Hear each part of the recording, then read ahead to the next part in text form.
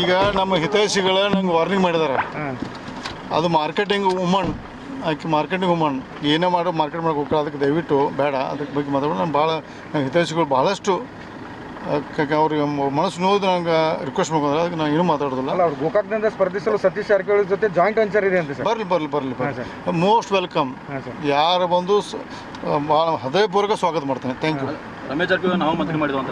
ಮುಂದೆ ಮುಂದೆ ಅದೇ ಮುಂದೆ ಹೇಳ್ತಾನೆ ಸಿದ್ದರಾಮಯ್ಯ ಕೇಳ್ಬೇಕು ಅದನ್ನು. ಸಿದ್ದರಾಮಯ್ಯ ಕೇಳಿದ್ರು ಅವರೇ ಇದು ಮುಖ್ಯಮಂತ್ರಿ ರಾಮನ ಪಕ್ಷದಲ್ಲಿ ಯಾಕಂದರೆ ಇವರೇ ಹೇಳೋ ಹಾಗೆ ಒಬ್ಬ ಮಹಿಳೆಯ ಬಗ್ಗೆ ಈ ರೀತಿ ಮಾತನಾಡೋದನ್ನ ಜನ ನೋಡ್ತಾ ಇದ್ದಾರೆ. ಜನರಿಗೇನು ಅರ್ಥ ಆಗೋದಿಲ್ಲ ಅಂತ ಇಲ್ಲ.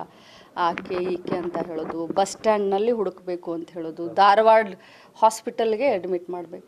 ಇದು ಅವ್ರಿಗೆ ಶೋಭೆ ತರುವಂಥದ್ದು ಅಲ್ಲ ಅಂತ ನಾನು ಹೇಳಿ ಏನು ಮೇಡಮ್ ಇದು? ಪದೇ ಪದೇ ಈ ಮಾತನ್ನ ಹೇಳ್ತಾ ಇದ್ದಾರೆ. ಸೊ ಅಷ್ಟು ದೊಡ್ಡದಾಗಿತ್ತ ಅವ್ರ ಪಾತ್ರ? ಹಾಗಾದರೆ ಇವತ್ತು ನಾನೇ ಮಂತ್ರಿ ಮಾಡಿದ್ದೀನಿ. ನಾನು ಹೇಳ್ತೀನಿ. ನಾವೇ ಮಂತ್ರಿ ಮಾಡಿದ್ವಿ. ನಾವೇ ಹೈಕಮಾಂಡ್ ಹತ್ರ ಇದನ್ನು ಮಾಡಿದ್ವಿ.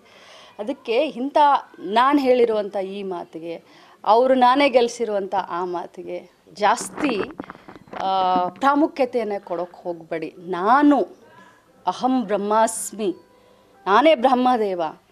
ಇದು ನಾನು, ನೀನು ಅನ್ನುವಂಥ ಎಂತೆಂಥೋ ರಾಜರು, ಲಕ್ಷ್ಮೀ ಹೆಬ್ಬಾಳ್ಕರ್ ಸಮೇತ ಇವತ್ತು ಹೇಳಕ್ಕೆ ಹೆಸರಿಲ್ದಂತ ಹೋಗಿದೆ.